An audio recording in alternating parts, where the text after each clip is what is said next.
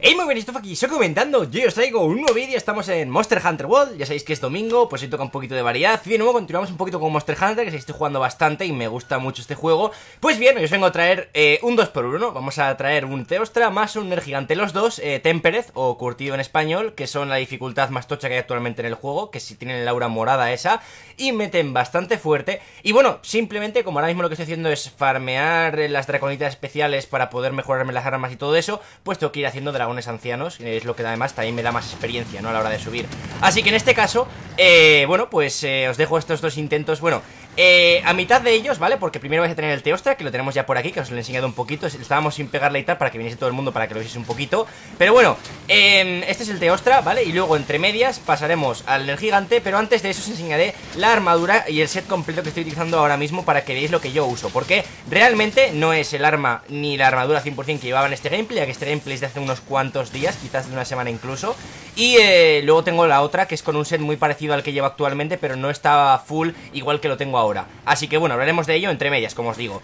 Así que son dos tries, como os digo, con gente random No son amigos míos, simplemente pues eh, cuando algún día que estaba jugando solo. De hecho, esto fue creo el otro día que YouTube no, no iba, ¿vale? Y dije, joder, este, cada, tenía que estar esperando pendiente cada 15 minutos para ver si podía publicar el vídeo porque estuvo como 3 horas sin funcionar. Y bueno, pues mientras tanto me iba haciendo unos cuantos monstruos y cada vez que me acababa uno miraba, refrescaba a ver si podía subir el vídeo, ¿no? Entonces en este caso este día jugué bastante y eh, me tocó esta, bueno, yo sabéis que voy refrescando investigaciones y voy pillando de gente porque yo no tengo, bueno, tengo una energía grande pero es muy caca, pero esta del Teostra no era, no era mía tampoco, ¿vale? Era de una, de una persona, del link este, ¿no? Supongo que es el primero, el de color rojo.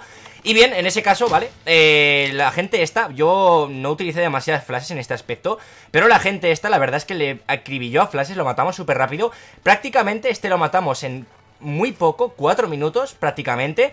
Y bueno, aquí por ejemplo justamente se para, aprovecho a tirarle esa, esa piedra justamente eh, para romper. Ahí hay que jugar muchas veces con los elementos del mapa y en este caso, en esta parte le puedes tirar un par de cristales en la cabeza y lo puedes reventar en el suelo, ¿no? Así que era una misión además de este típica que tienes que darte prisa de 15 minutos, ¿no? Que hay que hacerla muy rápido y los compañeros jugaron súper bien. Yo también le metí bastante caña, iba con un arma de, de Draco para pegarle fuerte al Teostra que le hace bastante daño. Y bueno, pues un par de errores que había por ahí que me da un par de veces, pero no es ningún speedrun ni mucho menos. Simplemente pues quería aprovechar a que me salieron los dos muy muy rápido junto con la gente, pues para, para que tuvieses el vídeo, ¿no? Así que bueno, ya os digo, aquí la gente esta le acribilló a flashes. Yo cada vez me voy acostumbrando más al tema de tirar las flashes porque cuando vuelan siempre les tiras y es muy bueno para meterle algún combo chulo o pegarle fuerte. Además, estamos jugando cuatro y los cuatro estamos dándole bien, pues lo reciben muchísimo daño, ¿no? Así que no sé, me sorprendió porque claro, estos monstruos actualmente digamos que es lo más difícil del juego que te puedes encontrar. Hombre, no son los más difíciles como tal, yo creo que el más difícil de todos es el Kirin, sinceramente, en mi opinión, ¿vale? Por, por lo que te pega y por cómo se mueve y por lo duro que está cuando se enfada. Pero, mmm, bueno, dentro de lo que cabe son dragones ancianos, es la dificultad curtido, con lo cual es la dificultad más alta del juego. Así que me sorprendió hacerla tan rápido porque ya sabéis cuando juegas multi, los monstruos tienen más vida. Así que es verdad que hay gente que hace speedruns y que juega solo y tal. Y bueno, eh, va a tope, ¿no? A por los monstruos, se mete la, mm, no sé, el potenciador este de afinidad, se mete objetos y va a piñón a por él, ¿no? A hacerle combos y tal. Pero yo no juego así, yo simplemente estaba farmeando y tal y salió esto muy rápido yo qué sé, pues lo quería enseñar, ¿no? Porque son dos monstruos que todavía no se había traído al, al canal en el gigante, sí, pero no en esta dificultad. Así que bueno, además son monstruos que, como os digo, que en esta dificultad en una tontería te matan. O sea, de hecho este tiene un ataque que no lo hace en toda la pelea porque no le dejamos, que se eleva y explota. Y si está relativamente cerca, incluso un poco lejos, si no te mata te deja a esto, o sea, te deja reventado. Y el gigante tiene un ataque que es el que se lanza volando, que te revienta. Por ejemplo aquí, que hago un poco el tonto, debería haberme cubierto con el escudo, pero no tenía las armas eh, sacadas. ¿Veis como con eh, la, con la llamarada me revienta? O sea, me destroza. Y digo, bueno, pues ahora que se está escapando eh, vamos a aprovechar a curarnos. Estaba preparando la, flash, si no me equivoco, pero creo que no llegó a flash. Sí, le llegó a flashear yo finalmente, aunque los compañeros también estaban atentos. Y bueno, aquí eh, es finalmente cuando le finiquitamos. Y estáis viendo que el pobre pues recibe un montón. Y nada, pues aquí mientras le, rematamos, eso, deciros que ahora vamos a ir a enseñaros un poquito el, set Aquí le volvemos a tirar al suelo, o sea, es que pilló muchísimo, le rompimos los cuernos, que no es demasiado complicado al, al Teostra Le rompimos también las alas como estáis viendo y nada, pues cuando toca un equipo así de gente, porque veces que le toca gente que es muy tonta, ¿no? Y que, y que muere de manera estúpida. Es decir, de vez en cuando puede ser por un fallo, por mala suerte que te mate el bicho, pero no que llega y según llega muere y luego llega otra vez y muere otra vez. Hay gente que te toca así y te jode las misiones, ¿no? Pero en general, cuando gente, juega gente que va tan bien, o sea, que juega tan bien y que va a piñón, como tú, se hace súper rápido y súper a gusto, ¿no? Y no hay ningún tipo de riesgo en la misión. De hecho, como os digo, vamos a ir ya, si os parece, con el, con el set, ¿vale? Mientras terminaba aquí de picar para que veáis lo que me dio el Teostra. Eh, bueno, en este caso ya es el set que llevo actualmente, el que más utilizo. Veis que llevo hay un montón de sets guardados, pero básicamente en todos utilizo el mismo equipo, excepto en el de las duales del Teostra, que tengo algo más para potenciar nitro. Es decir, utilizo la misma armadura, pero le cambio las gemas. Ahora, rápidamente, vamos a ir con para que veáis las habilidades que tengo con la armadura combinada con las gemas. En primer lugar, pues por el set del Chenoyiba tengo esa. Luego tenemos el bonus de salud al máximo para tener más vida. Bonus de punto débil para incrementar el tema de los críticos. También el antiplagas, carga, carga prolongada, bonus de críticos para incrementar el poder de los críticos. El otro es cuando le das en un punto débil haces más críticos. Esto sí que es verdad que con la cigua me la podría cambiar porque la cigua que llevo es para incrementar el bonus de punto débil, pero lo podría cambiar por el de bonus críticos. Ya vería. Y bueno, ya estáis viendo que tengo que cambiar alguna gema más que no tenía. Bonus no elemental es muy importante, la verdad, y el bonus de afinidad para mejorar un poco porque el arma del Diablos tiene afinidad negativa, aunque con la otra habilidad se complementa un poco, pero bueno. Igualmente ya estáis viendo todo lo que llevo, sin más, es un set bastante completo y dedicado sobre todo a críticos y hacer daño con los críticos, ¿vale? A potenciar, a intentar pegarle los puntos débiles para subir el crítico, la afinidad, en este caso, y eh, poder pegarle golpes críticos que hacen mucho daño, ¿no? Y bien, pues aquí vamos, eh, llego el último a la, a la misión, bueno, el último, y esta es la misión del energía gigante curtido, que para mí es uno de los bichos que más fuerte pega, o sea, que te puede matar aunque no sea culpa tuya, o sea, yo por, por ejemplo tengo el escudo, y con el escudo, pues, si veo que viene volando hacia mí, si lo pongo y no me pega del todo bien, lo paro entero, pero hay que tener cuidado con ese aspecto.